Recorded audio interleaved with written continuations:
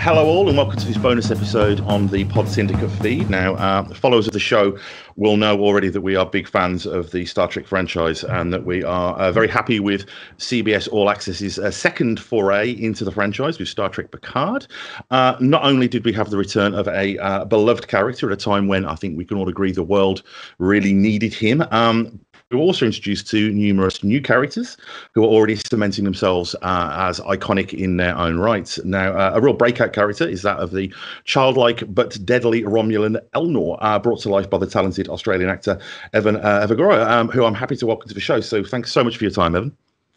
Thanks for having me. How are you? Um, you good?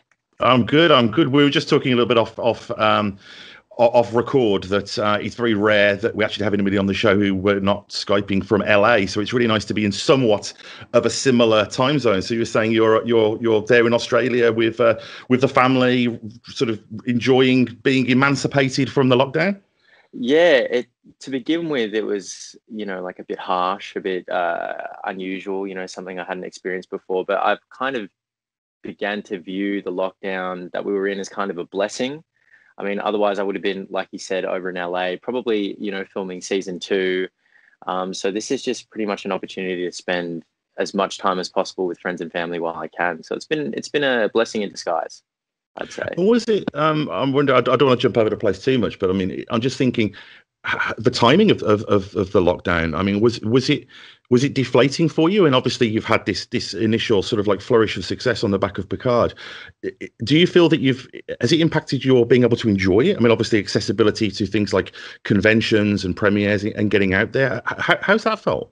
I mean, in terms of meeting the fans, it has been a bit different. We tried uh, a, a, whole virtual meet and greet, uh, so it was interesting to be able to meet fans you know, even though it was face to face, it was across the screen, so it is a little bit different. I did experience my first uh, con right before the lockdown, so I was able to meet the fans, you know, kind of gauge their opinion of the show and their thoughts on the characters and everything, because the fans really are the the whole reason why we do the show. Um, you know, if there were no fans, we wouldn't.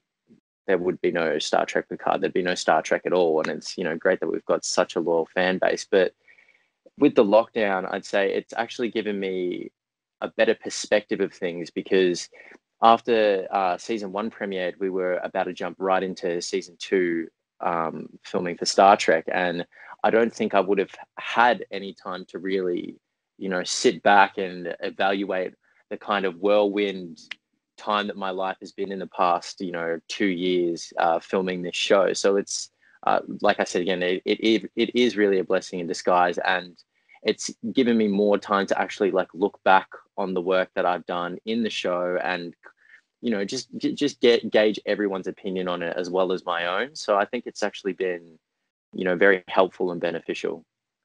And I suppose also you've got, I mean, I've spoke to people from d- different eras of the Star Trek franchise, and one of the things that they often talk about is that really it's it's two jobs. You know, you've got the work, you've got the the the performing, and then you've got all of the other things that that that go with that.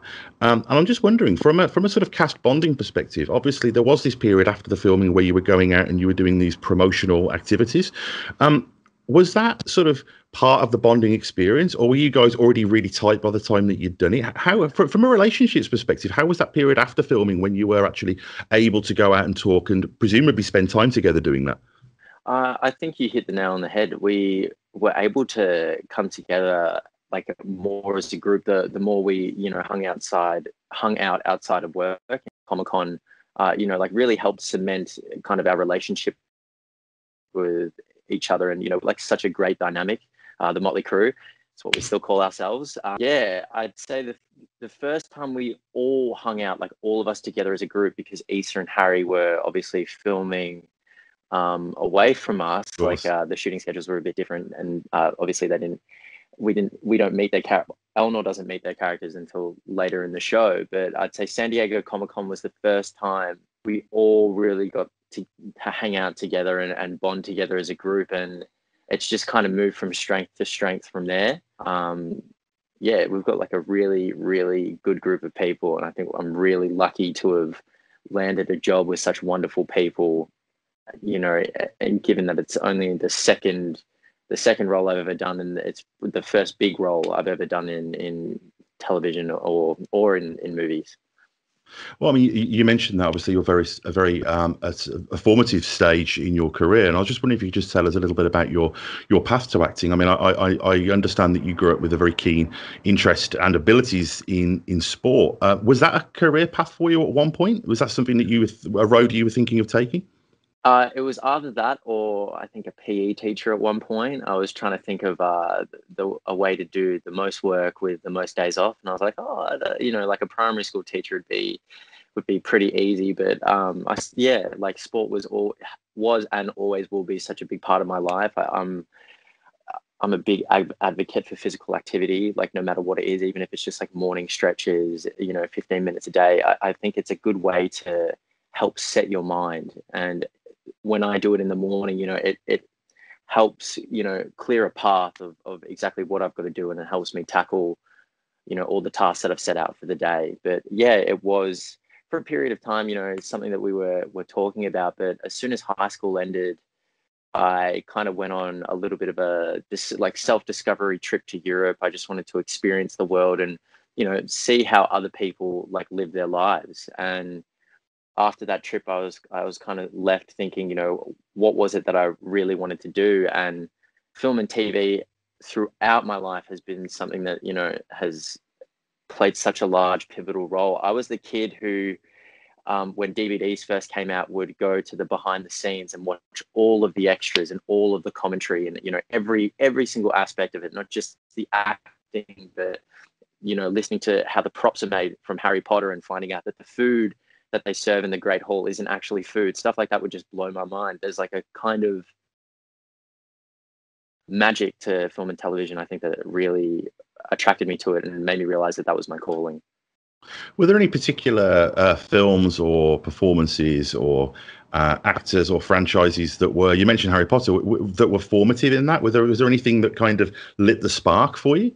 I'd have to say every. This is such a broad thing, but literally everything and anything fantasy uh, attracted me attracts me to it. I mean, I I'm, I was trying to think the other day, like out of Star Trek and Star Wars, which one you know uh, was the most influential? And I just sat there. be very careful how you yeah, answer this question. I, oh, yes, I do have to be very careful. But they both they both had such an impact on me. It's hard to sure. to split to split the two, and it's the same with things like Lord of the Rings.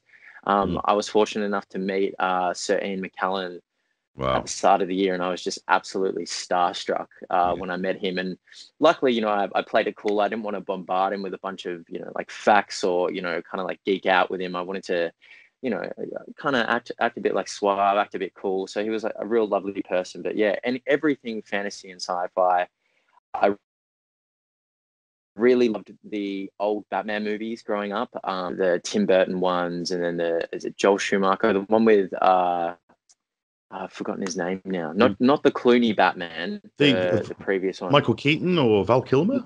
Keaton and Val Kilmer. Those are those are the my two favorite ones. Although I do have to give credit to Arnold Schwarzenegger as uh, Mr. Freeze because those are some really good cheesy one-liners that are. Oh yeah, he's he's at eleven right there. Yeah, uh, exactly. He'd have he'd have been a great Shatner era Star Trek villain. You know, he he uh, he he takes the brakes off. Uh, Arnie yeah. does. And you mentioned Lord of the Rings as well. I mean, gosh, you want to talk behind the scenes bonus features on DVDs? That's the uh, the kind of the holy book of yeah. uh, of, of that in many ways. And um, I only watch the extendeds now with Lord of the Rings. I feel like it's the only thing that gives it justice. I can't watch the theatrical shortened versions. I'm like, I need more more you know? Yeah it does. You get that kind of missing limb syndrome when you watch yeah. those uh, those shorter ones. Uh, i mean you mentioned as well a little bit about sort of the importance of you know e- exercise and you know how good that is for the, the, the spirit and the soul. I'm just wondering um did did that help you? Did the physicality of what you've done in the past help you with the character of elnor at all?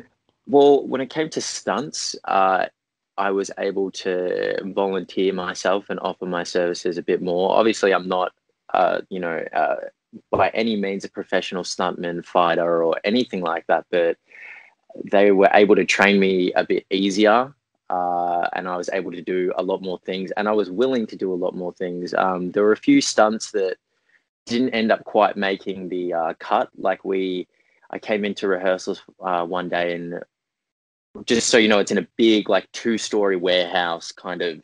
That's the studio. That's where the the spaceship La Serena really is. And um, they had a crane, like a, a crane lift at the top, and they said you're going to be jumping down from that on a bunch of ropes uh, for the day. That's what we're going to practice. We're we're trying to put this stunt into the into the show. Would you be willing to do it? And the first thing I said was, hell yeah, let's do it. I can do this in my sleep. So they attach, they put they put a harness on me. They attach these ropes. I hop onto the, the crane. Before we go up, they go, "Do you want to practice jumping from halfway down first? And I go, "Nah, I've got this. I've got this. No problem." So we get to the top, and immediately I start breaking into a sweat, looking down. I'm like, "You know what? Can we just like lower it? Can we go back down halfway?" I think you guys were right. Well, um, I'm not ready for this, but you know, the they were very supportive. Uh, you know, with all of my stunts, uh, the stunt team and everyone, and, and the director and everything. So yeah, it was it was the physicality. I would say yeah, it really did help. You know, having that sort of trust in the stunt people to take that weight when you take the leap. I mean, that's that's something. It is, and um, a credit to my stunt double and Anise, who's also uh, the per- the the Romulan assassin who kills uh. Oh wow! Okay. Oh, is he the, is he the one who yeah. gets vaporized at the? Uh... Yeah, so he's the one who spits on her, um, and you know, yeah, all that stuff happens, and then Picard, yeah, like the explosion happens, Picard's running, so that that was actually him, and he he does everything that I couldn't do, wouldn't do. Um, he does. He's he pretty much makes Elnor look cool. He every wall run that you see, every really cool like double backflip or anything like that I wish I could take credit for it, but it is it's all a Anise. He's he's a legend. And it just makes you realize, I suppose, in this age of high definition and 4K, how seamless that is. Because I mean, Star Trek has got a a fine tradition of incredibly obvious stunt performers. So, for example, even going back to the to the '60s show, anytime Captain Kirk would do yeah. something heroic, he'd suddenly transform into a, a middle-aged, sort of out of shape kind of. But that's uh, that's that's really come along. Um, but I was just wondering as well. I mean, uh, you, am I correct in thinking that you're that you're a fan of Star Trek? That you were a fan before you got the role? I'm just curious as to sort of what your history with the franchise was before. So I was a fan of it growing up. My mum is uh, big into all things sci-fi, so she was kind of the one that uh, I guess nurtured that. I will admit though, growing up initially, like whenever we were little and Star Trek would be playing, our mum would come into the room and be like, "Guess what's on?"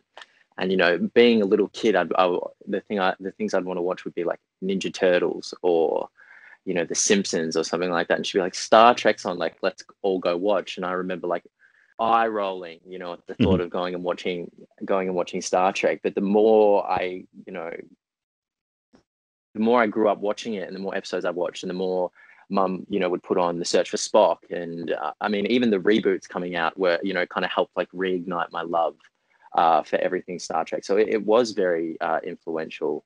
Um, I'd have to say my favorite episode at the moment. I've been sat like before it was Measure of a Man, uh, only because I really, really, really, really enjoy enjoy that episode. But I'd have to say I, Borg now. I've got a bit of a soft spot for Jonathan Del Arco. Uh, oh, of course, yes.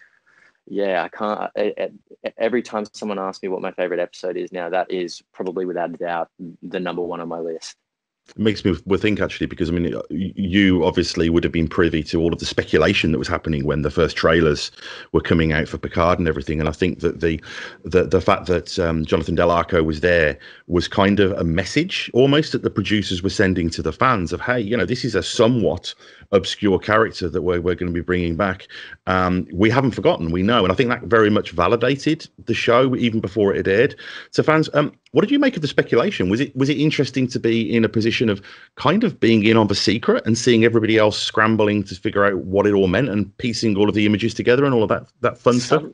Yeah, some of the theories were very, very out there. You know, like a lot of them touched really close onto onto what it was, and others just were were nowhere near. So it was kind of interesting just to see where people's heads were at and what what really what the fans were you know kind of like hoping and expecting for from this star trek and i think we did like uh, I, I can say this as a fan i mean it delivered for me uh, but i also got to kind of live out uh, like a, a dream of mine and that's you know standing next next to jean-luc picard and and you know, standing next to my captain in the world, not as as a person coming on set and visiting, but as an actual character in the show. Yeah, and I mean, gosh, what what an what an introduction! What a great sort of mentorship that must have been as well. Um, so, I mean, how could you just take us through the process of you of you of you getting the role? Um, how that occurred, how you found out? Oh, how I found out. So I was originally what happened was I was shooting. Uh, I landed a role in a Blumhouse movie known as Fantasy Island. Mm. Uh, small little role, but very integral to the story. I we I was shooting in two kind of uh, I'd say periods. I had a three uh, about a three week break, and where I flew back to Australia. And during that time, I auditioned for Star Trek. Star Trek came came across um, my audition schedule, I guess you if you want to call it for lack of a better word. And I remember going into the room, meeting the casting director, nervous as hell, so nervous. Uh, we did one take of a scene and I absolutely butchered it. I thought I did a terrible job he kind of eased me eased me up. We, i was a bit more relaxed heading into the second take and then we we smashed out the the two scenes. I said you know the, every word verbatim. It, it went how it, it went as well as i wanted it to go. So I, I left there feeling happy saying you know if i got it i've got it. I, you know, I, I did my best, and then I ended up flying to Fiji the next day to resume filming uh, for Fantasy Island, and I remember the whole flight just the longer the the, the longer I I, I the how am I trying to say this? I'm getting tongue tied. The more time that that went by, the worse I thought I did. in the you sort of mythologized in your mind what actually happened, perhaps a little. Yeah, I was psyching myself out a lot, and then I get a phone call uh, when I land in Fiji saying uh, you're actually being considered for the role. You've been shortlisted. Uh, you and I think it was ten other people. They'd like to they'd like to uh, you know have a have a Skype call with you and, and give you some notes and they'd like you to retape. Uh, two days go by, haven't heard anything from them, and then I get another phone call. The short the list has been dropped more. Uh, you're being considered one of five. A day goes by, you're now one of three. Uh, the phone call with the director, uh, Hanelle Culpepper, the the lady who the brilliant brilliant lady I should say, uh, who directed uh, the first two episodes of Picard. Uh, She's doing she some amazing me... work on Discovery as well. Great, yeah, great. she director. has. I, I haven't watched the latest season yet. I'm getting through Lower Decks at the moment. Oh, brilliant. Um, brilliant. Which I'm what a, what a dark horse loving. that show turned out to be. Oh, I, I just had a feeling as well. I'm like, this is something special with uh, Lower Decks. I'm like, this is this is gonna. It, it's it, it reminds me a lot of like uh Final Space thing and things yeah. like that, but it's got such like a better take and the humor's there and, and just the throwbacks and the and the you know just the throwbacks they and the, the homage they pay to all the other shows. Mm. and I, I it, wait i'm not sure if i'm giving any spoilers but there's apparently there's in the last episode uh there's two people who make an amazing cameo.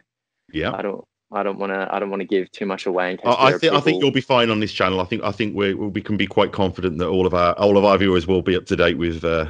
I can't believe. I can't believe they got Riker and Marina onto the show. It was.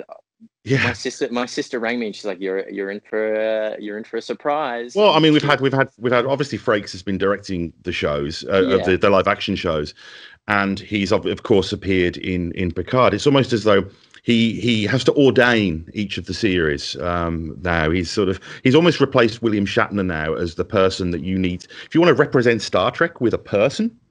Frakes is a good person to to do that, and, and Marina as well. I mean, some of the work that Marina did in in uh, in Picard was um, was heartbreaking. Yeah, re- re- I wish when Isa texted us, uh, they were all because they all were on the set that day. Michael Dorn. I was so jealous was like, you need to get pictures. You need to get pictures of all the group together, all of them chatting, just and the photos that she sent through, it was it, it looked like a reunion of just old friends.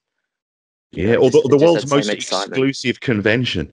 Yeah, the the, the, yeah. the, Fyre Fest that went well of conventions in uh, in many a Fyre Fest that was shooting at at a uh, Paramount like lot. I think it was like lot sixteen. Wow. Most exclusive thing, yeah. Yeah. But anyway, sorry, I derailed you. You were telling me about, about how you were you the, the numbers were getting whittled down and there was this process. The, yes, so the numbers were getting whittled down. I spoke to Hanelle over the phone. She gave me her notes.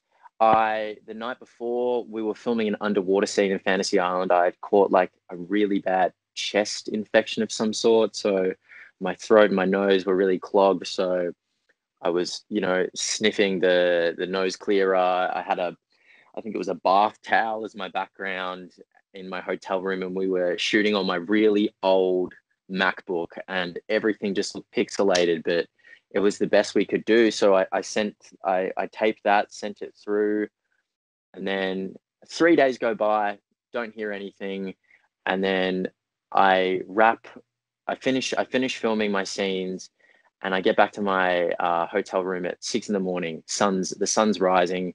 I'm dead. I'm half asleep, and I get a phone call saying from my manager saying you've got Star Trek. And at this point, I'm so tired. I'm just like, yep, okay, that's great news. Cool. Good night. Bye.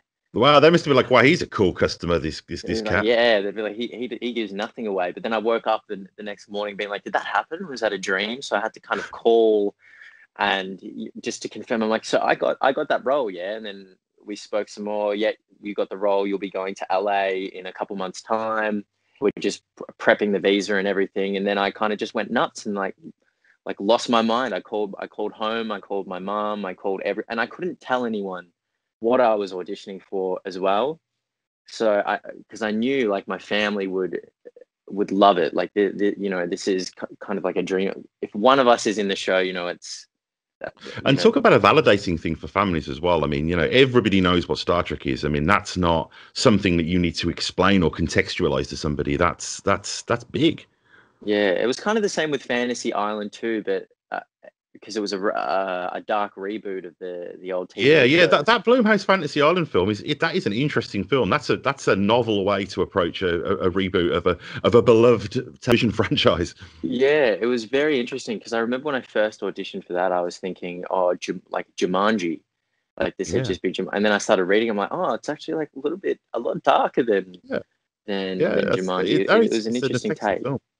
Yeah, and, and Khan as well, Ricardo Montalban. So I mm-hmm. feel like I've just jumped from one one thing that he was in into another thing that he was in. Wow, yeah. Hey, you know what? And he was in a couple of the Planet of the Apes movies as well. So there's another franchise that you're going to have to transition into now in some capacity. Fingers crossed. Well, I wouldn't mind playing an ape. Maybe I don't. Well, I don't know what, what they're doing with that, but that'd be cool. I, would I'd love to try and yeah. the green suit and bit of mocap. You know, you know, yeah, exactly. Spend a bit of time in Wellington at the uh, Peter Jackson's place. That wouldn't be too bad. So, so what about that? What about your first meeting with uh, with Sir Patrick? I'd imagine that would be a, a pretty uh, a pretty bracing experience.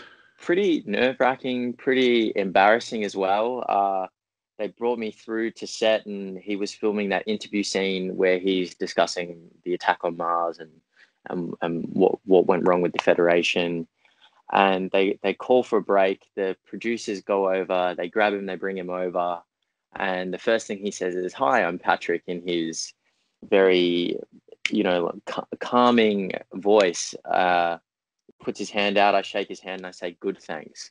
Like I don't say, "Hi, my name is Evan." I don't say, "Hi, how are you?" I just say, "Good, thanks," and that's kind of stuck with me uh, for a very, very, very long. Like, did I'm he comment or did he just did he just power through and? Uh... He played it off. He powered it through. He's you know he's a professional. He's a professional at meeting people. He probably gets it all the time at conventions. I, I imagine there'd be a lot of people who were tongue tied when meeting Sir Patrick Stewart.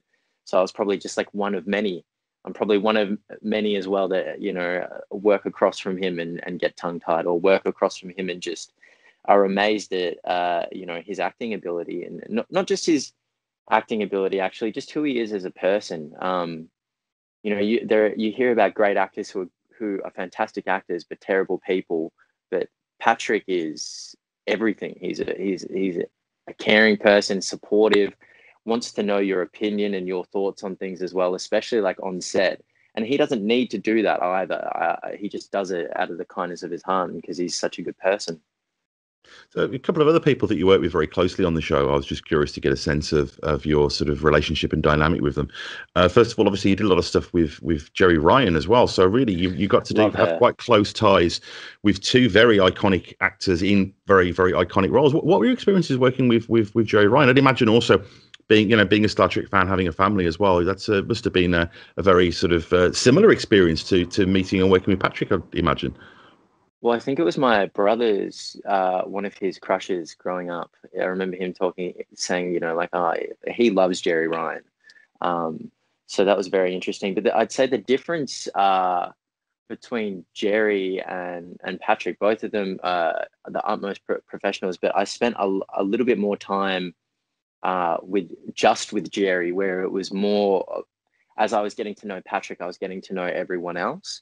But uh, getting to know Jeri, I was just able to just it, it was just her and I uh, in a lot of the scenes, and, and we had so much fun. There were a lot of uh, a few late nights where we couldn't get our words out because we just break character so much. Like we, there were a few times where it'd be like the last take, and uh, you know the camera would be facing Jeri or the camera would be facing me, and the the person who who whose back was facing the camera would just be laughing and smiling. So yeah, it was just all just laughs. Sabotaging the other person also. Uh... yeah, almost the more we got in, into filming and the more we all filmed together, the friendlier we all became, the more relaxed uh, we all became around each other. And I think that kind of shows throughout the progression of the of the series. And it's kind of interesting. I mean, here in in Picard season one, this these group of strangers are, are getting assembled, and they are are actually like some of them have history, but a lot of them are meeting each other for the first time and are trying to kind of figure out their dynamic within within the crew. And that was very much what was happening behind the scenes as well. We were all, you know, getting to know each other and, and figuring out uh, each other's dynamics and how how we all work together. And it, it was kind, it's kind of like a, it's it's weird when re- reality mirrors uh, fiction I suppose also when you've got a lead who's playing, you know, a uh, an authority figure, a captain, although not necessarily so in in Picard as well, leading a cast. And I'm just wondering as well. I mean, wh- as far as where, where you are in, in your career at the moment as well, is I think one of the things that's interesting that viewers and listeners may or may not know about Picard is the way that it was shot in blocks of of two episodes with directors. Yep.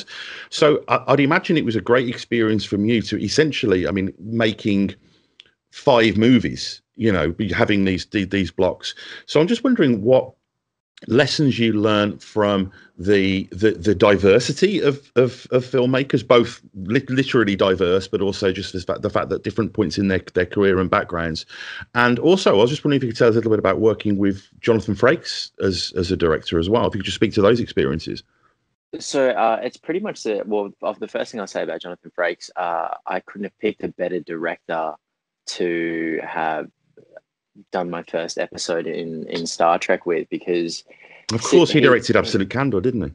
Yeah, and he knows Trek back to front on screen and off screen. So he knows what works, he knows what doesn't. He's very particular. Um, and even though he's got such like a loud booming voice, it's never like a he never spoke in a way that w- would make me feel uncomfortable or uncertain. It was always very like supportive and nurturing. So, Jonathan, if you're listening to this, thank you again. I always thank him whenever I see him, and um, yeah, I love Jonathan uh, to death. In terms of the the block shooting and every and uh, the differences, every day was a learning experience for me. What I a lot of things that I did learn on on set is things go wrong. Uh, they can go wrong, and a lot of the times they will go wrong but there's normally always a way to there's normally always a solution to solve it. Uh, so a lot of the times it's people you know solving problems or working things out or working around things.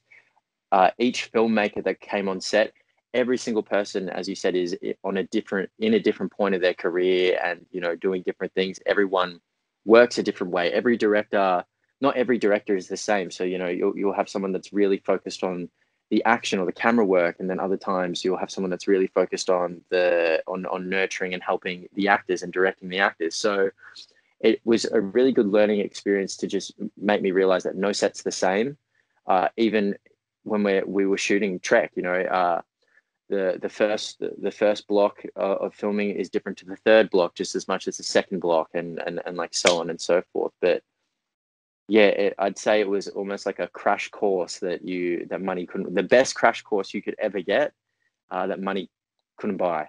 Yeah, wow. I mean, I suppose. I mean, his uh, Star Trek has a great, as a franchise, has a great history for being an, a, a, talent academy in many ways and nurturing people from acting into directing. And uh, you know, Frakes himself obviously is a great example of that. But also, you know, everyone from LeVar Burton through Patrick Stewart. Um, and, and, I'm just wondering as well. I mean, um, as far as this process and the the infrastructure, I suppose that you found yourself in.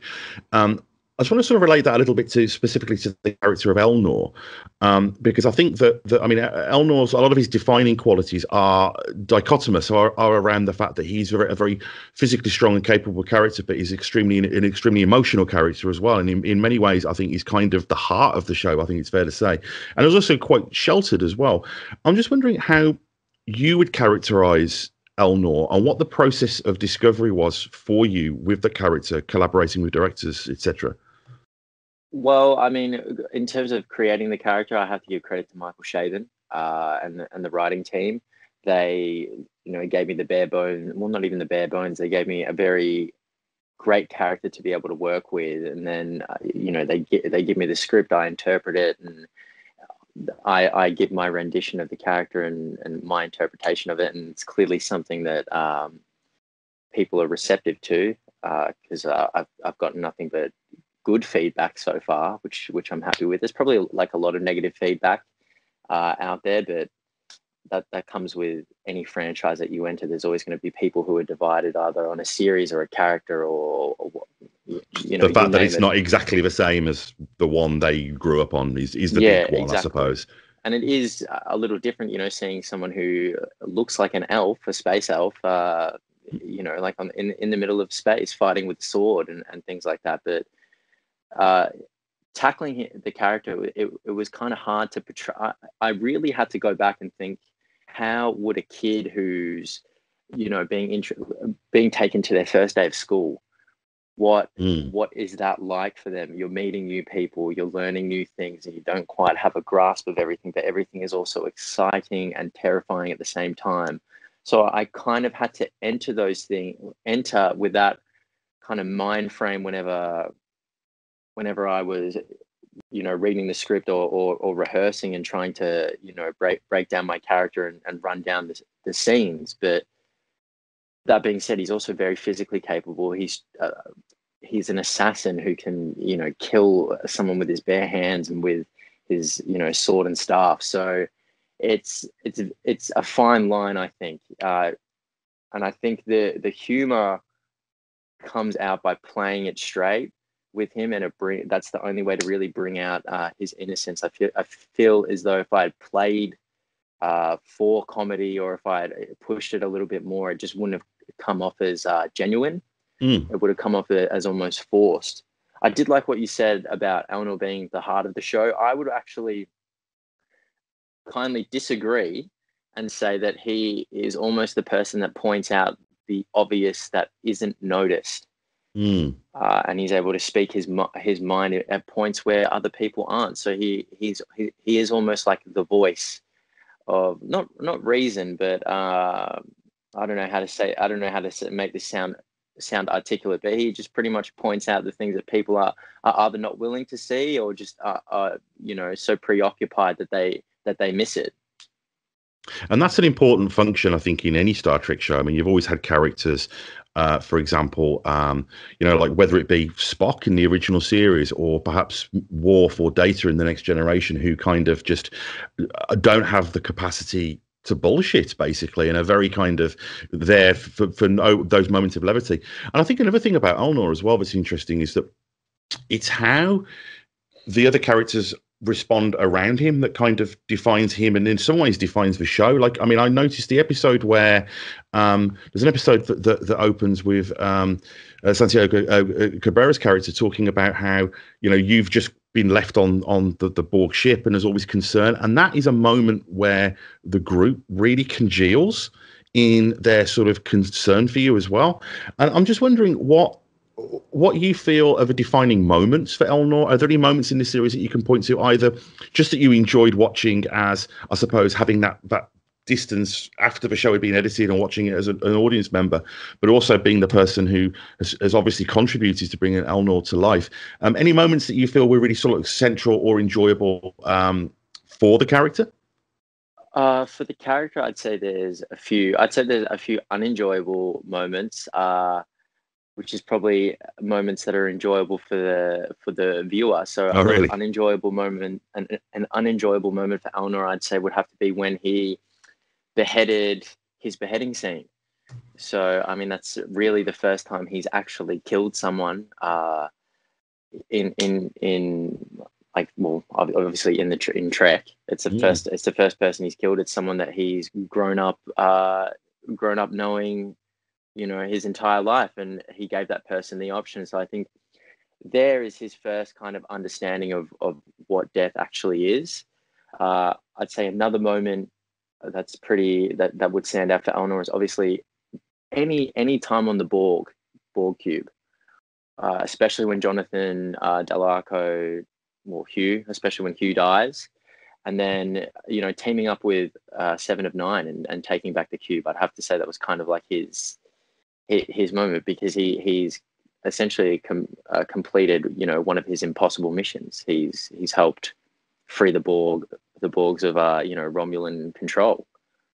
So I'd have to say that kind of stands out for for Elnor. And a scene that really stood out for me is that is when we're on Coppelius and uh, the crew come to the cube and they're not sure what they're going to find there. That that that really stood out to me. That kind of like reuniting mm. moment. That that that was a fun scene to film. They cut it out, but I actually sprint over, hug everyone, and I pick up Alison Pill and like spin her around. So and, and I don't think she was expecting that either. But that was like a real fun kind of moment. Oh, she, it's like, such a shame that wasn't left in. Yeah, I mean the things make you know not every if if we could put everything in, you know, we would, but that's hey. just not the way it works. Season two, uh, and I think it's interesting as well. But I think that that um, Elnor brings out a lot of the protect, protective impulses of the audience as well. Like when I was watching this, my wife's a Star Trek fan as well. Not as not as not as much as I. She's she humours me, but uh, but she does enjoy. she really enjoys Picard. But when um there's a sort of empathy I think that Elnor brings out because the moment when you get left on the Borg cube, my wife ended the episode into it, just just literally stood up and went, "He better be okay."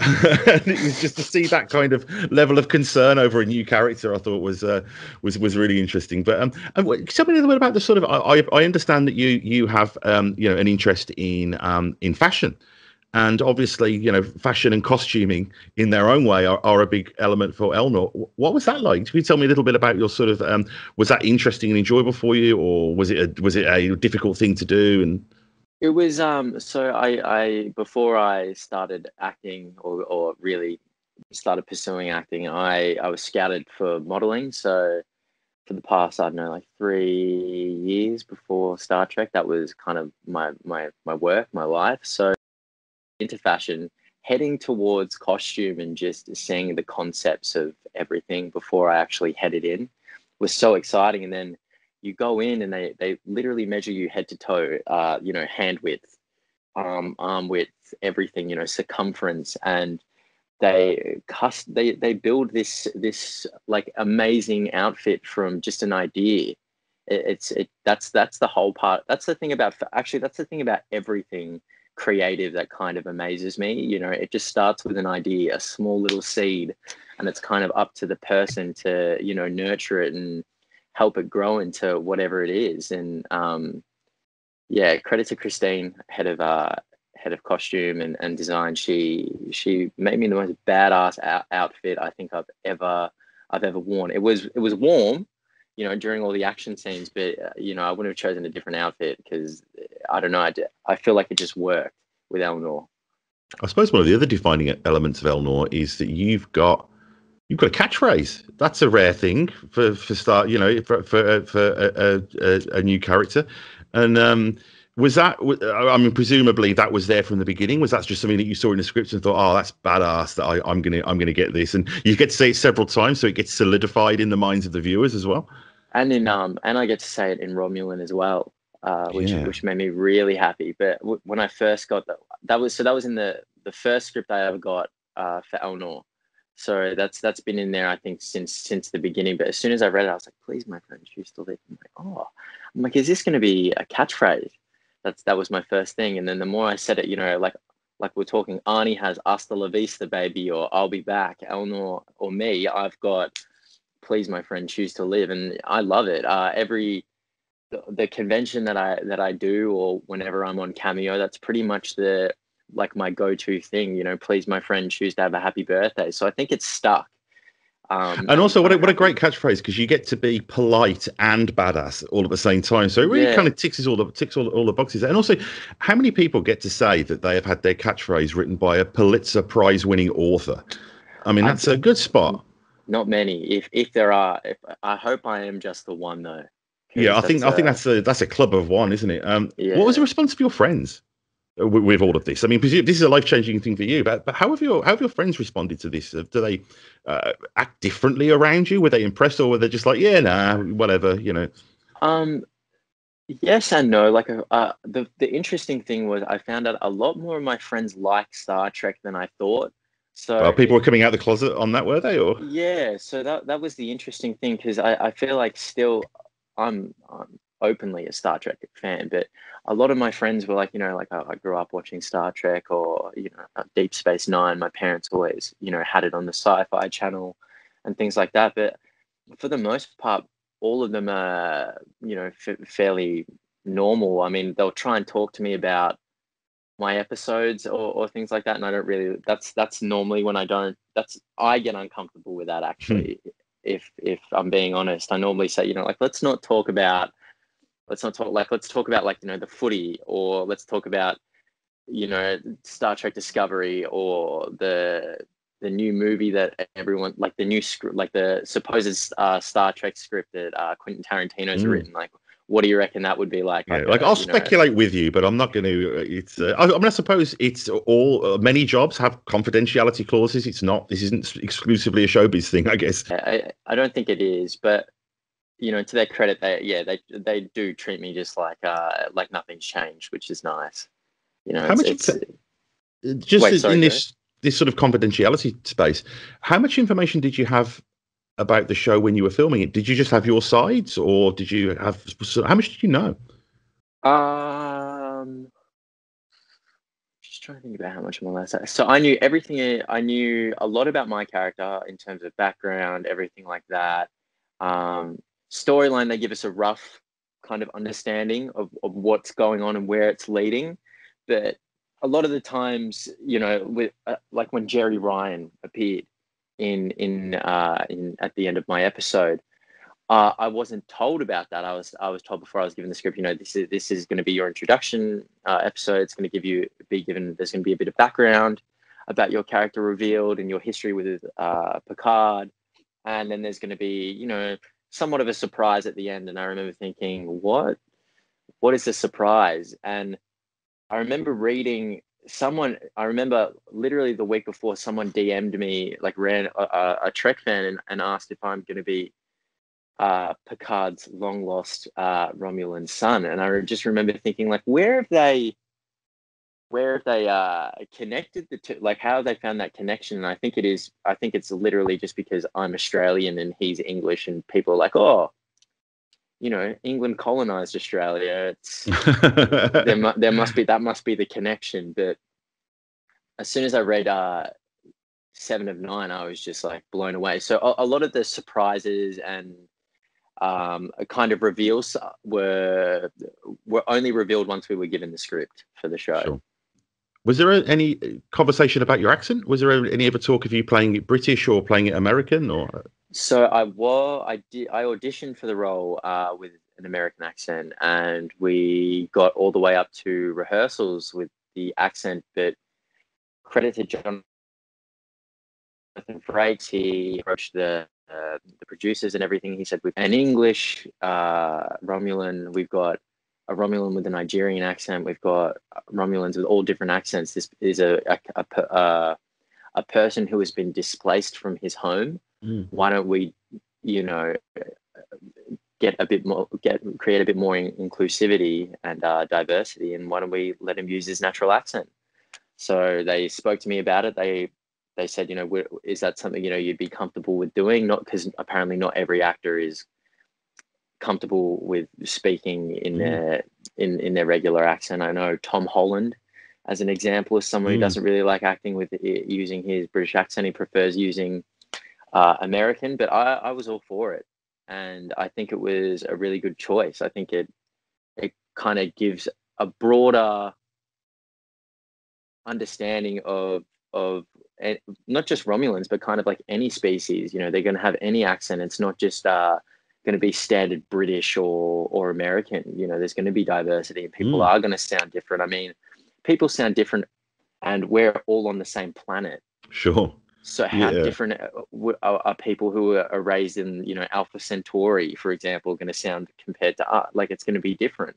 So it, it, it is funny what sometimes people question in science fiction as well, and, and we have come a long way, fortunately, uh, not all the way there. I mean, I remember in the mid '90s when um, Tim Russ was revealed as playing a Vulcan character in Star Trek Voyager, and um, people's responses initially, fortunately, a very small number of people was there aren't African American Vulcans, and it's like you, you you'll accept Vulcans, but you'll only accept that there are only Caucasian. Yeah. and I mean, I mean now that seems kind of ridiculous, you know, uh, or co- comic almost. But uh, but I think now, and obviously, you know, we've had um, an Irish Romulan as well in the series yeah. as well. So I think it's good that that's just not something that's even being questioned anymore.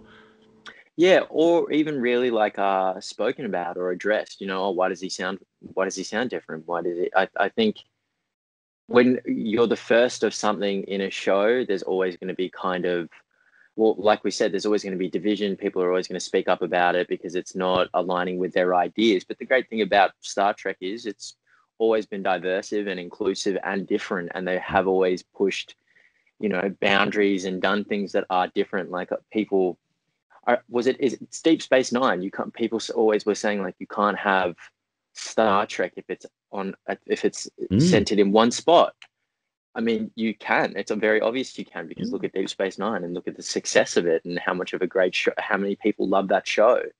Just, and I think with Picard, it'll, it's the same. I think that I mean, I'm really that's one of the reasons why I'm really looking forward to season two, is that for a lot of kind of um, the old school fans, it always takes a season to sort of settle in, and then yeah. sort of return to. I mean, the obviously season one ends with you guys very much a crew, so it's almost as though season one is is the prologue, and that's of Discovery did did a very similar thing. So I mean, on on that subject, um, season two, that's the elephant in the room. When when uh, when's the film going to start rolling? Uh soon, very very very very soon. Uh, I not I don't know if I'm allowed to say exactly when. Uh, not before Christmas. I think I'm allowed to say that. I think we all know it's starting in January. Yeah, sweet. Okay, yeah. I have been watching. I am on a lot of the uh, Facebook groups like Star Trek shit posting and oh yeah, uh, yeah.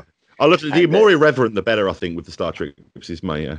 Yeah. So yeah, January we will be we will be filming. Uh, I don't even know if I can. I don't know if they posted the date. All I know is everyone's just saying January, January, January. Yeah. Uh, so we'll, we'll start season two there, and in my opinion, it cannot quicker. I'm so excited, not just to get back to work, but to get back to you know the Motley Crew and and hang out with everyone and you know just in the not even not even sure I'm allowed to say where we're filming, but uh, at some random studio in California.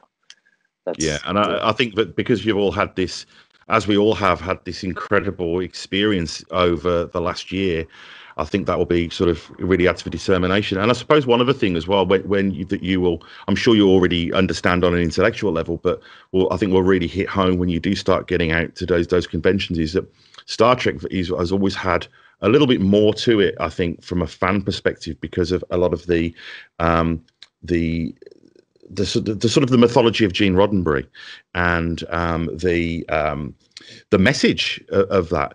I'm just wondering what what does Star Trek mean to you as a philosophy?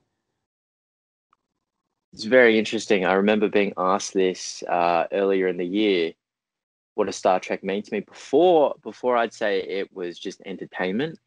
Growing up, it was something I could watch, and then the more the actually going back to it as well, just kind of like made me realize more and more how much of a mirror it is to our society, um, and how much it does reflect. And I, I, the great thing about sci-fi and the great the great thing about Gene and how he portrayed all these messages, I'd ha- I have to say they were like easily digestible, if that makes sense. It didn't feel in your face. It didn't feel forced. And I feel like the writers now are continuing that legacy there, bringing up real world issues, today issues, problems that we're going to be facing in the future, and problems that we're facing today.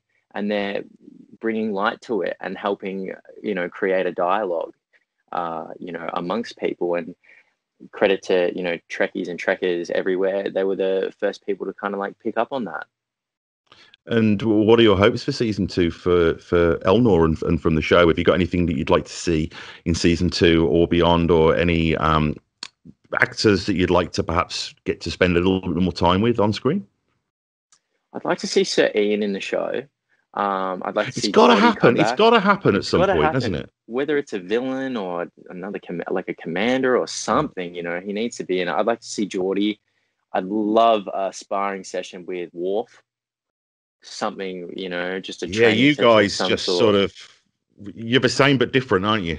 Yeah, I mean, it was uh, Klingons that were viewed as you know enemies, and then you know we we get given Worf, and that's a different perspective on on uh, Klingons. You know, not everyone's uh, you know not everyone's the same, and I think it's the same with Elnor.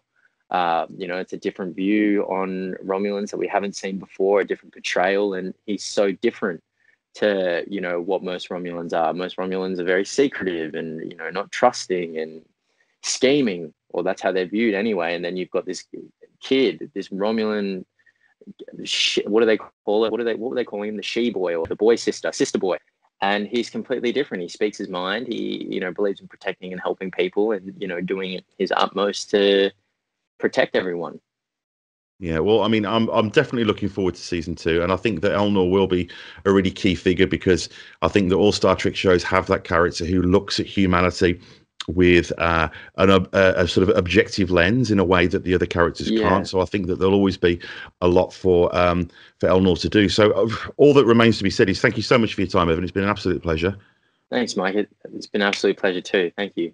And um, can't wait to um, start seeing the, um, the, the insane rumors for season two um, coming up. The first time you guys have an opportunity to throw us any scraps, uh, we'll be all pouring over those and trying to figure out um, who your father or son is uh, and all that good yeah. stuff. son, oh, oh, oh no, what's it? What's been going on between season one and two? Well, you know, so we've all been locked locked down, haven't we? You've got to keep yourself amused somehow. These things happen. There, there are a but... lot of uh, lockdown babies, uh, uh, lockdown pregnancies. I reckon that are going to be uh, appearing very soon. Well, yeah, that's it. There's going to be a whole uh, a whole sort of generation of people who are going to look back on when they were born and do the maths and go, "Hang on, I think I can see what's going on here, but uh, but no, thank thank you so much for your time. And um, I'm just wondering, is there is there anything that you, have you got any online presence or anything that you'd like to sort of push people towards, or how they can I mean, find out about you or learn more about you and your work? I'm I'm really just on Instagram. Um, I do want to say to everyone though, um, please download the Freerice app. So what this game is is essentially you. It's a quiz game and uh, there are ad banners underneath. This is run by the. It's a game that's run by the Worldwide Food Program, and it's uh, also run by the UN as well. So under the UN, uh, for every question you answer, five grains of rice uh, will get the equi- like the equivalent of money. It, it equi- it adds up to being five grains of rice, and you know you can answer like two hundred questions in a day. And the more people that do it, the more money gets donated, the more oh, that awesome. we can help end you know, like famine in Yemen and and you know, famine around the world. That's brilliant, and I'll add a link to that in the show notes. If you guys uh, just look on the YouTube page or just look down at your phone, and there'll be a link that you can click on and uh, do that. So again, thanks so much for your time. It's been an absolute pleasure. Thanks, Mike. Have a good one. Live long and prosper.